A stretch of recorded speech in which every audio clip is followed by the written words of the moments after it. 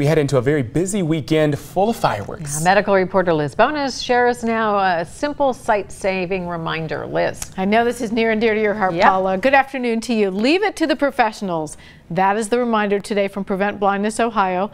They remind us that last year nearly 13,000 people were treated in emergency departments for injuries related to fireworks. Most occur around the 4th of July. Right now, several states allow for backyard fireworks to be set off. Ohio is not currently one of them. There's a bill that is under review for that. Prevent Blindness Ohio not in favor of it. The group says the only way to be sure you don't get injured is to spend time at professional fireworks shows where you are not near anything that could explode in your face. Amy Pulles of Prevent Blindness Ohio came into our studio. She shared with me some other statistics that remind us we can't be too careful.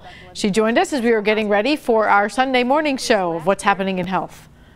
The uh, Consumer Product Safety Commission just came out with their annual report last year, and there were approximately 12,900 fireworks related injuries in the United States during 2017. 60% of those were around the time, the one month time period around the 4th of July, so it's the most um, active time for fireworks use and fireworks injuries. Uh, 14, 1,800 of those injuries were to the eyes, which is equal to 14 percent. Um, most of those injuries occur in children. That's what's really scary. We have a story for you Sunday morning of a mother who lost her son just as a bystander to these accidents. We hope you'll join us 6 a.m. or set your DVR.